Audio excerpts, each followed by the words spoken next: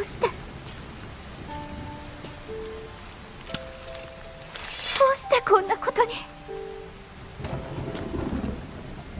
真珠がガーディアンが私たちを襲うなんて。まさか厄災にカノンに奪われるなんて。タルケルもリーバルもミファーもエルボサも。ともう真珠の中。に私のせいです。封印の力に目覚められずカノンに立ち向かうはずの異物たちまで奪われ私が私が今までしてきたことは何の役にも立たなかった。